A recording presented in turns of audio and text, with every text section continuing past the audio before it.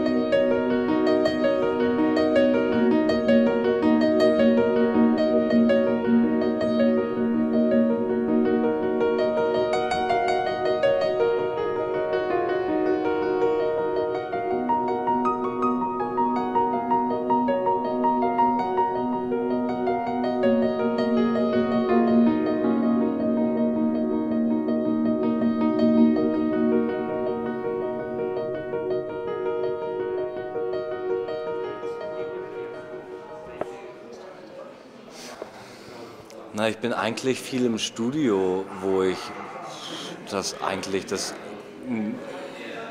das Studio ist für mich wie ein Instrument. Das heißt, da stehen viele Mikrofone, Effektgeräte, ähm, Computer, Bandmaschinen, Synthesizer, Gitarren, Bässe, Percussion-Instrumente. Also ich, ich mache mit allem Musik, was ich in die Finger kriege. Aber ich bin natürlich nirgendwo so eloquent wie auf dem Klavier. Der Computer kann als Instrument gelten, aber natürlich nicht im klassischen Sinne, weil ein Instrument ist etwas, was klingt und irgendwie Luft in äh, Wallung bringt und dadurch Klang erzeugt. Das ist eigentlich schon eher der Lautsprecher, wäre quasi ein Instrument, weil der erzeugt den Klang, wie die Gitarre, wie das Klavier. Der Computer kann aber kann Hilfe sein, für, äh, um Klänge zu verbiegen oder um Klänge zu generieren, die, die die Natur gar nicht hervorbringen kann. Und dafür schätze ich ihn sehr. Ich schätze den Computer nicht dafür, dass er die Natur imitieren kann. Die Natur sollte nicht imitiert werden. Wenn es ein richtiges Klavier gibt, sollte man das richtige Klavier spielen. Das digitale Klavier hat keine Notwendigkeit. Man kann mit digitalen ganz andere Sounds machen, die das Klavier nicht kann. Und das sollte man versuchen. Das, das Musikmachen mit anderen Künstlern zusammen ist von daher äh, spannend und wichtig für mich, weil, weil ich so lerne. Ich, ich habe nicht in der Universität gelernt, sondern ich lerne durch die direkte Erfahrung, die ich mit Menschen mache oder über die Projekte, an denen wir arbeiten.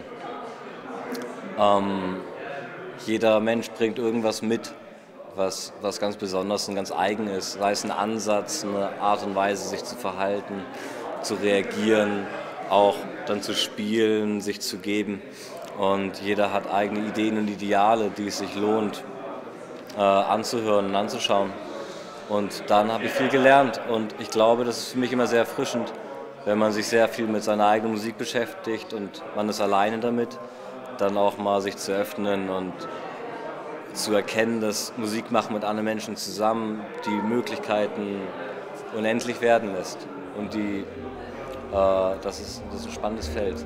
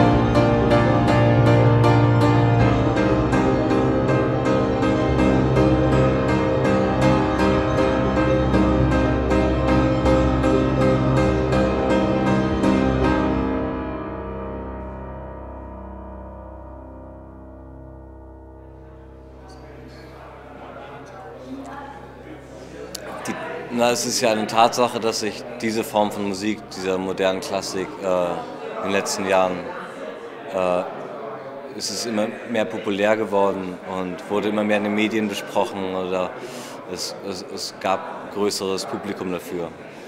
Ich, ich kann die Gründe dafür natürlich nicht, nicht sicher nennen, aber meine Vermutung ist, dass